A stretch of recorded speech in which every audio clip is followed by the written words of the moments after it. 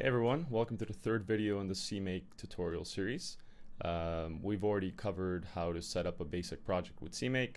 We've covered uh, including a third-party library which we use to compile some code and uh, you know we didn't do much with it but uh, it just shows you how to include some library, its header file, its uh, library file and, and get all that set up. Uh, so if you haven't seen those videos I recommend you go back and, and take a look. This third video is going to look at configuring our project a little bit more. And this is kind of a, uh, not very focused, but more just kind of tips, CMake tips for setting up your uh, C++ project and getting things up and running some more. So without further ado, let's look at some code. So the first thing we're going to look at is our CMake list file. Um, if you've seen the previous videos, you'll recognize some of this. This is essentially the CMake version, the project. I've included the project version so that's our project's version, and this is 1.0. Uh, I mean, you can set whatever you want there as your project version. We're adding our source file, and we're creating a executable. And then there's some new stuff down here. So the first thing we're going to do is just make sure that this compiles. Uh, and, you know, we can set up our CMake project and all that, and then compile it. And then we're going to dive into some of the new stuff here. So let's make a build directory go into that build directory uh, and then issue the CMake command to generate our build files into the current directory by telling CMake where our project uh, folder is, or project, sorry, project file is, which is the CMake list.txt file.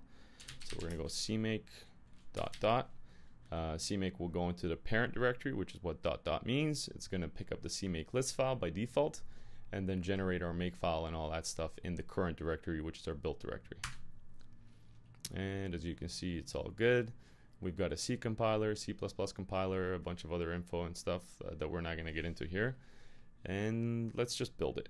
CMake dash dash build and compile. So we see that there's an error. Um, that error is there's two parts to this. Uh, the first part is the fact that it is using my Apple Clang compiler, which doesn't include some of the latest features uh, as Clang or the LLVM project should. Um, now, you might be using GCC on Linux or uh, Visual Studio Code on Windows, or sorry, Visual Studio on Windows or whatever, but um, basically all this means is that because we're using make unique in, in this project or in the source file, the compiler is getting confused, it doesn't know what that is, and it's throwing an error because make unique doesn't exist. Now, if we go to the code, if you're familiar with Make Unique, you'll know that it is included in the memory header, which is where smart pointers come from in the C++ library. Um, don't worry too much about what Make Unique does or what smart pointers are. I'll, I'll do videos on a bunch of this stuff in the future. Um, it's a C++11 feature for memory management. Uh, so essentially, in, you know, in C++, when you when you uh, allocate memory, you have to remember to delete it. So what C++ 11 included is smart pointers, which are essentially um, just a way of uh, using what's called reference counting so that when you create an object and that object goes out of scope, uh, you don't have to remember to delete it. C++ will use the reference count and, uh, and delete it for you. Don't worry, like I said, too much about that. We'll do a separate video on that. But for now, you just need to know that uh, it doesn't know what make unique is. And uh, like I said, there's two parts to that. The first part is the Apple compiler. So we want to use uh, LLVM 9, which is the latest, uh, which includes the latest Clang compiler, uh, which has the make unique um, function in there for creating a unique pointer. So the other part to that is the make unique is only available from C++ 14 and up. And um, because the, the Apple provided compiler, the current one, uh, doesn't really support that uh, as far as I understand. Uh, since we're getting this error, we're going to do two things. We're going to tell CMake where the compiler we actually want to use is, and I've installed it on my system, and I'll show you how to do that. And then we're going to change the standard so that uh, when CMake configures the project and it issues those compile commands, it will include some directives so that uh, the compiler itself will compile will compile our source code with C++ 17 in our case in mind, and it'll enable those features. So the first thing we're going to do is we're going to um, reissue the CMake command, but pass a parameter to it, which will tell CMake uh, where the C++ compiler is. So the way you do that is you do dash D, and dash D and anything that follows it will be a C CMake parameter, or including an argument. So we're gonna go uh, dash d cmake. So the compile uh, the command's already there for us because I've already ran this command in the past. Uh, and what that's doing is it's saying uh, it's running cmake and it's saying there's a parameter that we're gonna provide, which is cmake. I don't know why this is scrolling.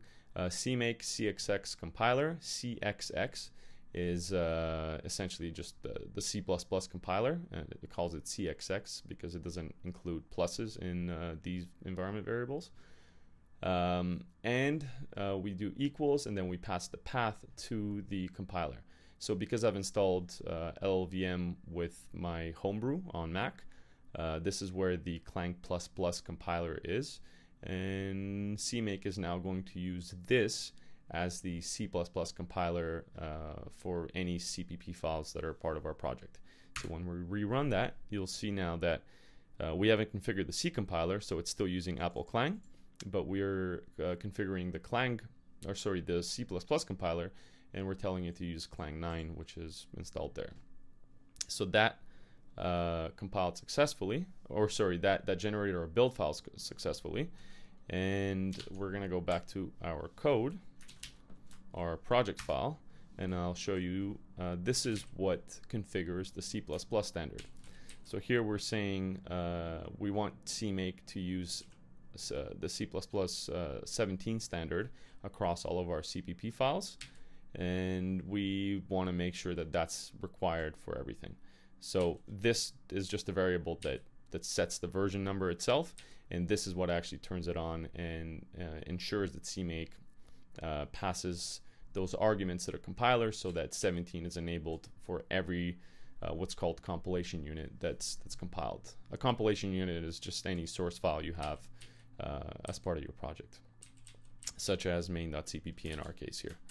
So with that in mind, uh, we have uh, set Clang as our compiler, uh, the latest Clang.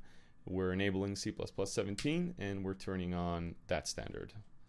Now if we go back and we rebuild, that error goes away. The next thing we're going to do is we're going to look at these two lines right here. There's this config.h.in file, which is essentially a template file that uh, is going to tell CMake what a output file should look like.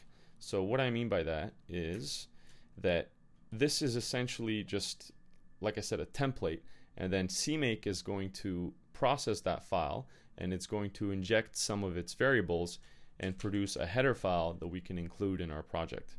So let's let's take a look at this config.h.in file and you'll have a better understanding of what's going on.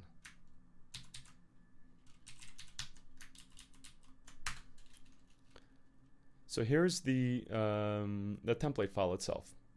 So uh, we have a preprocessor directive to define a um, essentially this identifier right here, which is the CMake intro version major. So it's the major version number and the minor version number.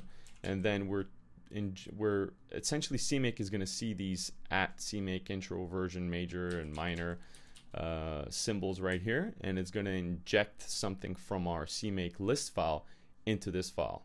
So I'm going to show you real quick what that means. Uh, this is the major version, so the 1 right here, and this is the minor version. So 1.0 is our, our project version. And then what that's going to generate once CMake, uh, once you run CMake dot dot like we did before, what that's going to do, it's it's going to uh, produce a the conf config.h file that you see right here, and it's going to populate those two uh, preprocessor lines with the respective values from our build version. So if we open that, so what we see that CMake has done is it's produced these two identifiers and put in the major and minor versions uh, into the files. Now, in order to uh, include that, we have to do our include directory, which is our build directory. So if, as you remember, we created this build directory here, and all of the build files for this uh, CMake project are generated in here. So when I ls in here, you'll see that. And the file that we generated is this config.h file. Now, this is called in CMake, this is called the binary directory. And it's called the binary directory because this is where our actual binary is stored along with all the object code and everything else, all the other compiled code that uh, our, our project is actually generating in order to get to this final executable.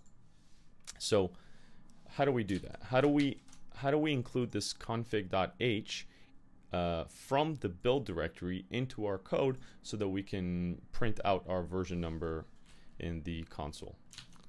And I'll show you how that looks. If we go back to CMake list, now you'll see that we have added this target include directories function call here. Essentially, what we're doing is we're just saying uh, this target is including these include directories. In this case, it's only one. And we are saying uh, basic, which is our executable. Uh, it's a publicly accessible include, so meaning uh, th there's going to be a separate video on this, but essentially what this means is that if another project is using our project here, then it will also um, some of these includes will will propagate up into that project as well because they're public. Uh, in this case, we're just um, specifying the project binary directory. So that's a CMake variable that is uh, provided to us at uh, at build configuration time, and it is CMake telling us where the build directory actually is. And uh, what we're saying is we want to be able to access files. We want to be able to include files from the project binary directory, which happens to be this directory that we're currently in. So that means that we can go back to our code and we can do something like this. So now when we compile, uh, CMake will, will have set up our makefile or our project build configuration in a way um, so that our compiler will know where this file is or where to look for this file and it won't complain that uh, in fact let me just show you what happens here.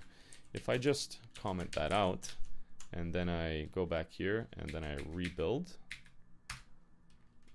it's going to complain. It doesn't know where this file is. So like I said when we un uh, uncomment that here and we uh, re-add this line now the compiler is going to know that this is a folder where it could look for um, header files. And when we rebuild that, now it can find it and it's all good. And like you saw, this is the generated file with the version number. So what do we do with that? When we go to our main, um, all we're doing is we're using uh, IOStream. So we're doing cout and we are printing our CMake basic project version and then we're actually using the version variable uh, or the version number variables they're not really variables but version number defines that were generated by CMake. So like you saw it generated this one and this one in our config. We included config and now we can just print those out and everything is good. So if we run basic let's clear the screen you'll see that that was carried in from our build file and we can now print our version. This is useful if you're doing like a, an application where you might want to include the version number somewhere in the corner of the screen or you know usually when you click uh, about like help about or uh, on any application or whatever uh, it will um, it will have the version number of the project uh, or of the uh, of the application so that you know maybe you want people to submit bug reports or whatever or to know what version they're on because they're installing updates or whatever. This is how you would include that from your build system.